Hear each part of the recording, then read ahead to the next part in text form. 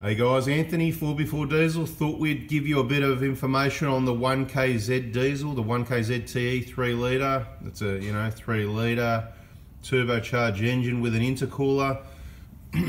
it's all work, but the, the intercooler is fairly straightforward to remove. That's already been done. We've spent about an hour on this vehicle so far getting the intercooler off and a few other bits and pieces. As you can see, the throttle body, we just wanted to show you you know, what could be sort of typical. I'll get in a bit closer and I'll let you know if I think it's better or worse than what they normally are as far as the EGR and the intake system goes on these. There's a lot of people get their information mixed up, you know, reading on Facebook groups, oh, you know, about this job and that job and, you know, I need to clean my EGR and I need to change my injectors. Now, I just want to make the information really clear. I have been clear, the clearest way to be clear is if you go and watch my channel, watch my information, don't listen to other ones because it just gets mixed up and confusing, right? So if you watch all the information, it'll all sort of come together. As I said, it's like a million piece jigsaw puzzle and all the pieces are coming together. So the important things on these engines that will kill the engine if you're unlucky and it happens to you and you're not lucky and it doesn't go out clean, that is the glow plugs. The glow plug tips do fall off for those that don't know what the glow plugs is, or are, is or are, whatever, they those suckers right there, right? We're not going to talk about why they're there and what they do in this video, but there's four of them, and they screw into the head right there. Now,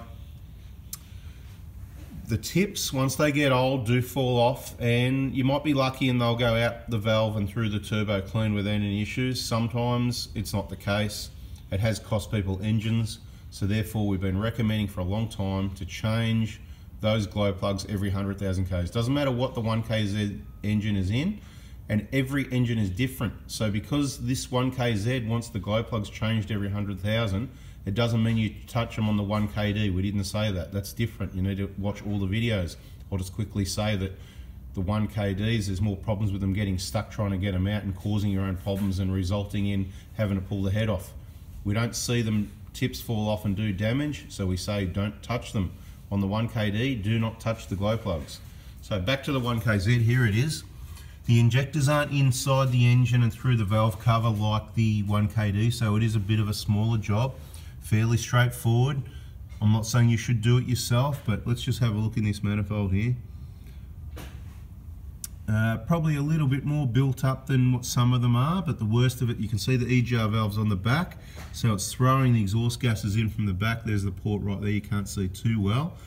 Um, and the worst of it's going to be around the throttle body and what you see here, so not normally worth cleaning the manifold. I would say even on this one, I haven't got my head or camera right in there yet, but probably not really worth pulling the manifold off in my opinion, but if you want to be anally fussy, it's not that hard, not that much more work to go and pull the manifold off. It is work though, and all the time does add up and the time cleaning, so it would add at least another couple hundred dollars or so to the job in labor and cleaning time, probably, you know, two or three hundred bucks, I'd imagine.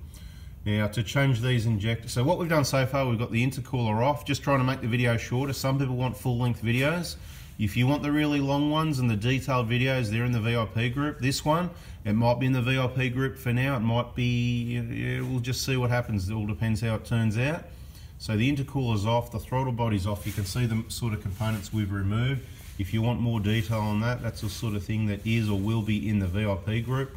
Um, so what we're doing now is removing the fuel lines. You can see, pretty straightforward. Now with the 1KD, when you replace the injector, you must replace the fuel pipe. With these, you can reuse the fuel pipes. Do not bend the nuts out of them, just very carefully. You know, you can carefully rework them back out of the way. Okay, so bada bing. So we're going to um, have a look a bit closely in that manifold, work out whether it needs a good clean out or not, and get on with getting these injectors and glow plugs out. We'll probably try and add a little bit more information for you, but the main thing I wanted to make clear is change these glow plugs every 100,000 Ks, please. Injectors, it's kind of a matter of if it ain't broke, don't fix it. But then people that change these injectors at two or 300,000 Ks report an improvement in responsiveness, economy, cleaner, blowing less smoke. So old school was service these injectors every 100,000 Ks. Um, I sort of don't trust anyone with servicing injectors, so for the small amount cost more, I recommend using only brand new. That's what we supply. We don't keep them in stock. It takes time to get them because nobody else does that. They rebuild them. As I said, we're not 100% trusting people to do that. And when you consider the amount of time they've been in there, this in this case here, over 10 years, never been changed. If you want to be able to get that again, no questions asked, then you put the same thing in there again, and that is a brand new, genuine product. All right, guys, a bit more information for you soon. So we've got the camera down in the manifold. I'm just having a look at the device here have a look around at those ports. Like I said, it's not a blockage, it's just, you know, you've got a light build up on the surface, so if you want to be anal about it, make it all shiny, then absolutely you can take it off and clean it, but it's going to make little, if any, performance difference whatsoever. Makes a lot of mess on your camera though. If I did that, I'd certainly uh, clean all this area here out first so that you don't make that mess. So how about we do that, eh? Mate, what are you doing there down underneath there? Just removing a bracket that sits underneath the EGR so that we can remove the EGR. Okay. Anything you had to get out of the way to get to that? Looks like you've got the wiring loom unclipped down there to make a bit more room, yeah? That's right, we tucked it all underneath here so it's out of the way. Beautiful. Oil filter comes out. Yep. And please guys, when you put on the oil filter, do not tighten it up with a tool. Hand tight is sufficient. It seals on the O-ring. Hand, yeah? And don't do this here. This is the oil filter that came out. Oh no, so it has to be replaced as well, yeah?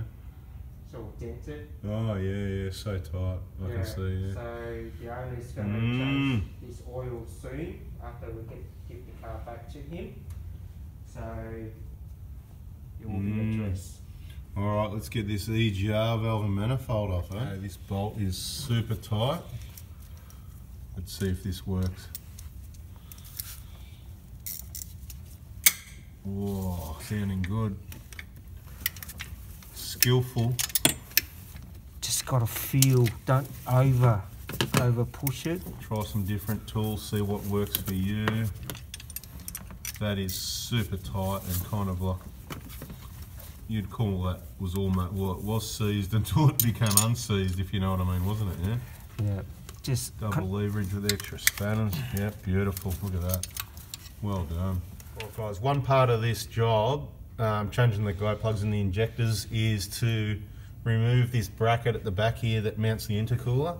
Um, it's loose now, you can see. There's two 10mm bolts down the back of the head, which are a bit difficult to get to. Sometimes they can be seized, sometimes they will snap off, sometimes they'll be rounded. They'll come out 90% of the time, so you've got to consider whether you think you're in the 90%, where if you get a quality tool on the right angle with the right leverage at the right time, they come out no problem. That is the proper way to do the job. But if you are concerned that, look, we, we did a lot of them, so, you know, when bolts break off because they're seized, um, and look, you can't get in there without pulling the head off, so when that happens with one, then you've got to assume it may happen with the other, and in consideration of the customer's wallet, what I do is then push that bracket there and just bend it backwards out of the way to get to number four glow plug. It might sound a little bit dodgy, but that's what you got to do sometimes. If you break both the bolts, you need that bracket there. That means the head's coming off to get those bolts out. There's no other way to do it. So something to think about. And while you're thinking about that, think about how important it is to watch these videos and get this information. If you haven't already, maybe now's a good time to give us a thumbs up, subscribe and turn that bell on. I'll have some more information for you while we're getting through this job here. So we're uh, about to get these glow plugs out. Now on the 1KZs, in my experience, they haven't proved to be as much of a problem as some other engines. But it's advisable to spray something, in this case it's the uh, WD-40. Anything that might get in there and penetrate to add a bit of lubrication to um, try and help avoid any issues. So we'll get the little uh, tool and see if these come out. Now, we have seen these, I don't know if I've said this in a video before, but we have seen these where people have changed them and had them out and not put them back in, not seating them correctly, and then they can leak slightly.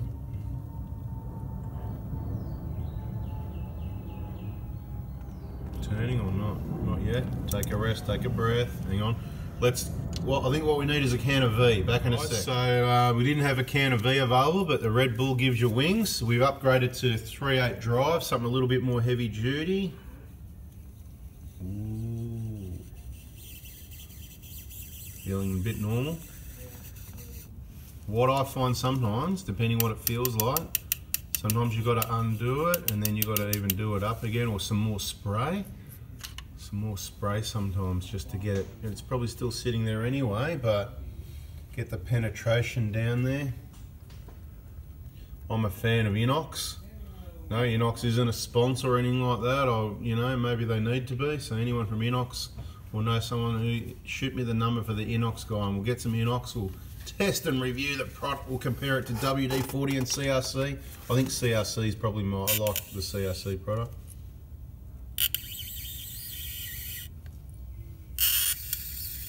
It, just work it a bit, that's the way.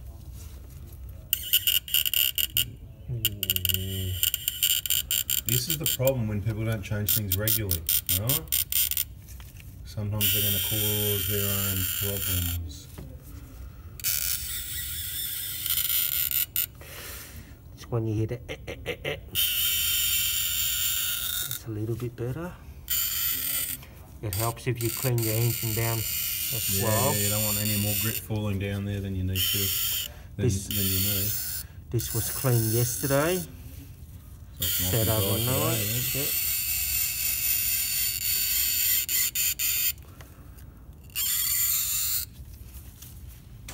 Mm. Anyway, guys, we're going to continue with this. If there's any further excitement, I'll uh, give you a bit more info. Otherwise, it could be a really long video. Okay, while that's happening, just showing your throttle body nice and clean, bada bing.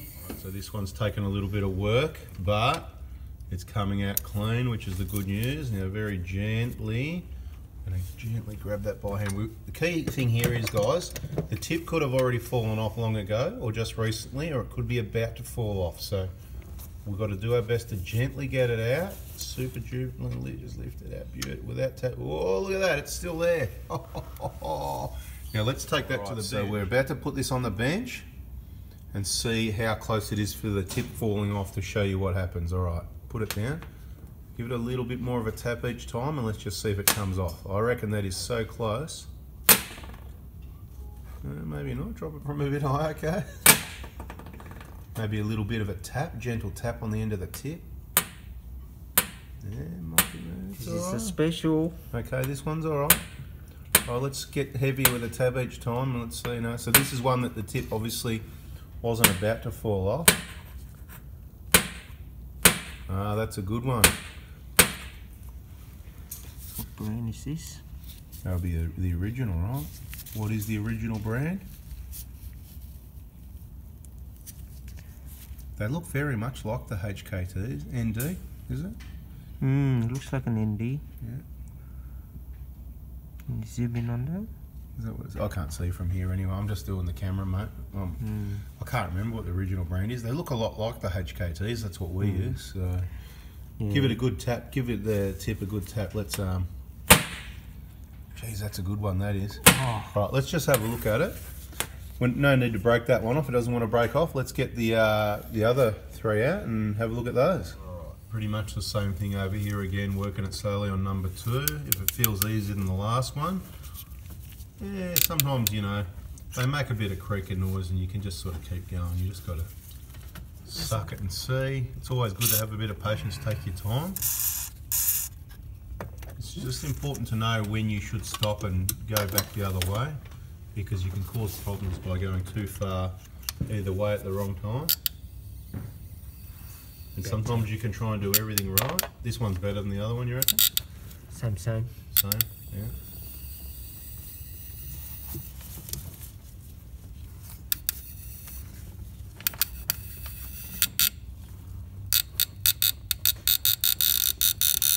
Fun and games, isn't it? Just get the rattle gun, man. Who's got a really big radio? A uh, three quarter, half, uh, bloody massive big radio gun? Yeah, I think that's coming out now. That's good. Mm. getting lighter and lighter. Right, we'll show you when we're lifting it out or back on the bench. Right, number two, just gently coming at that last little bit. Is the tip there or missing?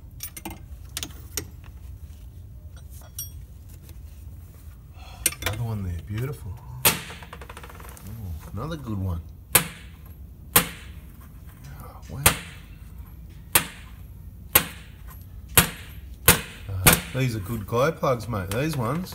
Have a look at them. They don't look too healthy, but um, there you go. All right, let's get number three out. Right, pretty much the same. Do you reckon this was a little bit easier than the other two? A little bit. About the same, but a little bit easier. So it's coming out. Hopefully we got some excitement and um, there's a tip missing on one of them, or hopefully not. Now, hopefully all the tips are there and they're like the first two, but I'm sort of hoping two ways with the customer. Oh, we'd obviously like all the tips to still be there to know there's never been any damage done. As I said, they can go out clean, they can cause failure quickly, or they can just be embedded into the piston for a long time and um, do damage sort of later over time. So it's really good news for the client if uh, these come out clean. Number three.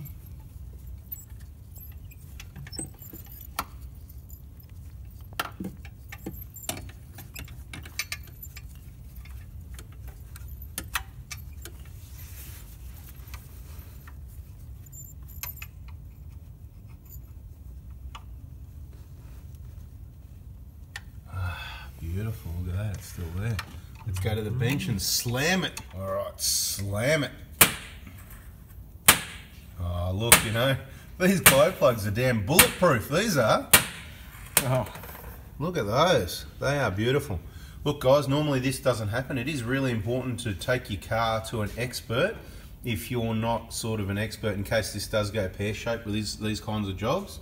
So if you're all over it and this helps you get the job done, that's good. But if you don't want to end up with a headache and in a bit of trouble, always remember you can uh, ask on one of our Facebook groups who do you recommend in what particular area to get jobs like this done.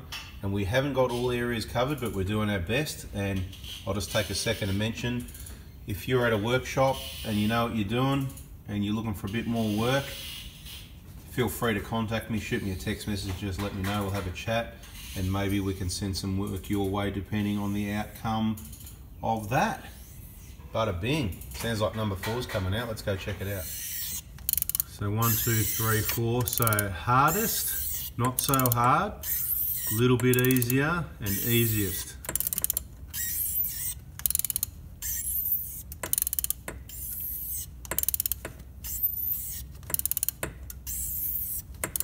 Very good uh, on the tools there, keeping it gentle, not knocking it around. What's happening over this side, mate? Trying to get these bolts out still. These old cars, mate, they're time consuming to work on. It's going to get costly if these bolts don't come out.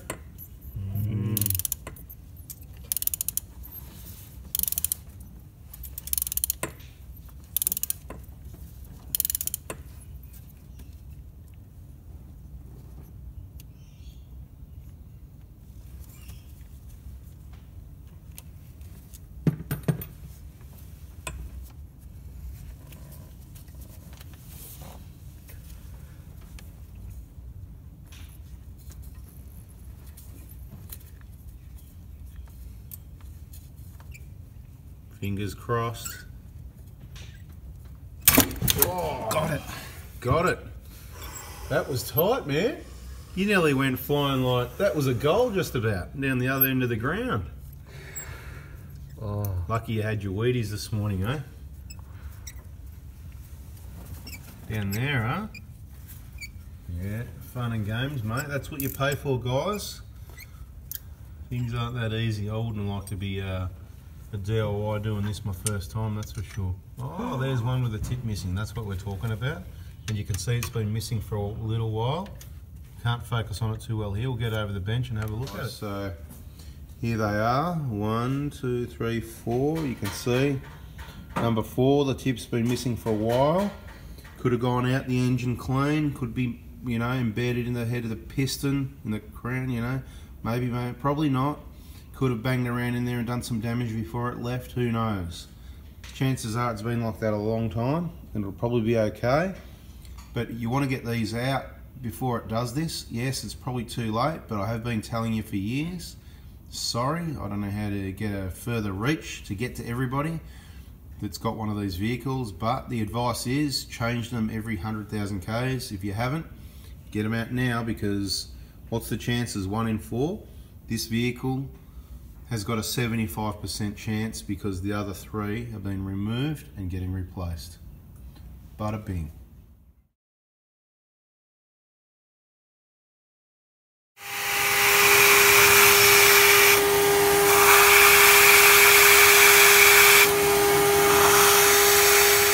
So the glow plugs are going back in. Oh, what do you got on the thread there, mate? You put something on the thread. Ah. Anti-seize. Oh yeah, that's a good idea. So from factory they put them in dry. That's probably not bad when you've got brand new materials, but once you've got something a bit older, you put them in dry, you might not get them out next time. So I think that's a very good idea. And you can use different types of anti-seize or grease or whatever you prefer. I'm not going to say I'm the expert on what product to use there because I've had bad experience with nickel anti-seize. I think grease is pretty good, a good old basic product, but it depends which one you use. Okay, one more to go.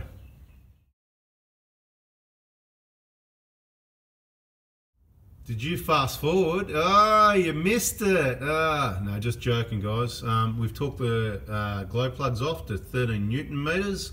You don't need to see how that's done. If you want to see how to use a torque wrench, you can check out some of my other videos.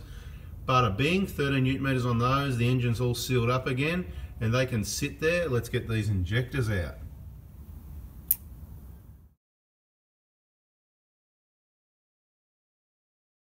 Right, so we're going to change these injectors out, getting the uh, fuel line off the top of the injectors. It's a 14 mil. Then the return line is above that. That's what that next nut down is. Anyway, you guys can figure it out if you're going to do this. Um, and then we're going to get the injectors out. I'll give you a bit more info soon. All right, guys, so the inlet manifold is off. You can see the injectors are still in place to keep the engine sealed, more or less. Just want to show you on the 1KZ what the ports are like. So on the 1KD, it's a different story. They are worse. They're not always worth cleaning there either, but I'd say this generally isn't worth the extra work. You can see they might be black, they've got a powdery coating on them, but it's not like it's caked up or anything blocking the flow or anything like that. The engine's going to pull the air it needs from there. So two ways to look at it. Is it worth doing? Um, maybe it's not worth doing, but while you're in there doing the once in every, well this is 15 years, I'd suggest maybe doing it in 10 years or less, but when you're in there doing the birthday, maybe it's uh, worth giving it all a nice clean up, right? So up to you, just showing you this is the actual facts of what's in there when you pull it apart and have a look. Let's go and have a look at the uh, manifold and see what that looks like compared to here. Okay, so manifold. Let's have a look in the ports. Let's look in here. Remember the muck in here? Let's have a better look around here. Mm, bit of stuff you can kind of scrape out from here. Messy, icky, ooky, yucky stuff, right? And that's where it all goes in there. That's the EGR valves normally out here. Goes in that hole there. Right, so it looks pretty messy there. A bit like the 1KD where you can often get away with that pulling the manifold off. Um, that's I'm not talking about that too much of this. That's in other videos. But by the time you get down to the ports, you know, there's a bit of powdery stuff there, but that is not going to affect anything in the performance whatsoever. These 1KZs are a much earlier Euro standard, you know, emission standard. They don't need to meet as strict emissions as the later vehicles. Right, I'm trying to just get, show you what's going on. So, understand this is what they look like. It's your decision whether you want to clean it out or not. I'm not going to say it's not worth cleaning. It's kind of, it all depends how much money you've got, right? Kind of not worth cleaning, but it's not a lot of money to do it every 10 years if you look at it that way. So it's kind of like you may as well. This one's getting done. If you haven't got the money, you don't have to do it. You're just going to leave this in there, no big deal. Bada bing. No bada bing was there. Eh? This is bada boom. Over here again, lifting the fuel return rail off the injectors. Um, it is obviously easier to do while the manifolds are not there, so there's a positive of the job if you do the whole thing together. All right, beautiful, and ready to get the injector nozzle, the nozzles out.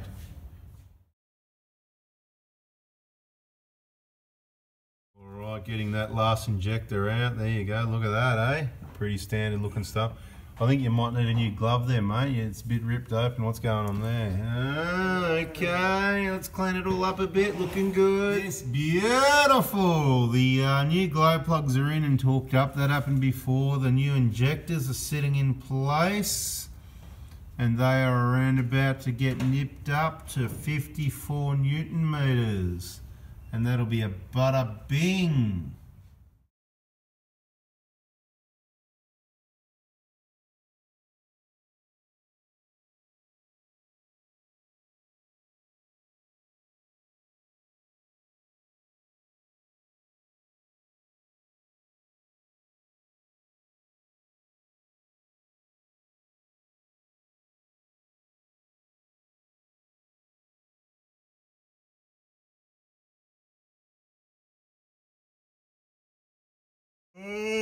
Looking nice.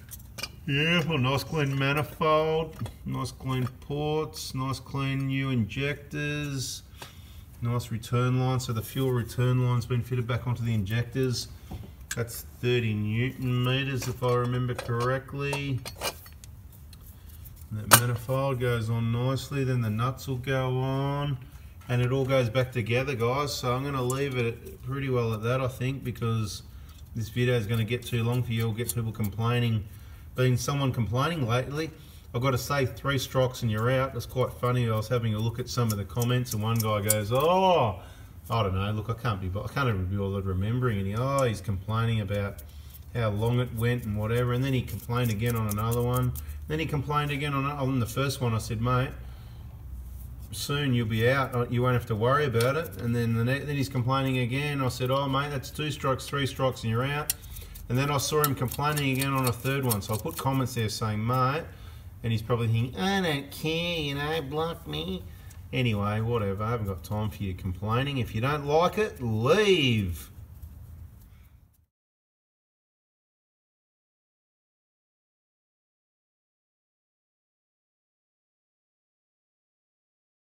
Alright, so I just wanted to let you know the torque settings on the injectors is 54 newton meters, on the return lines 30 newton meters, and the fuel return, uh, the fuel line, sorry, is 15 newton meters. So getting this manifold and throttle body back on. That's it in this video, guys. Bada bing, bada boom. If you got something out of that, give us a thumbs up. And if you haven't already, subscribe. And another day when we've got some more time, maybe we'll have a complete 1KZ injector replacement video, but hopefully there's been some info in there to help you out. Thanks for watching. See ya.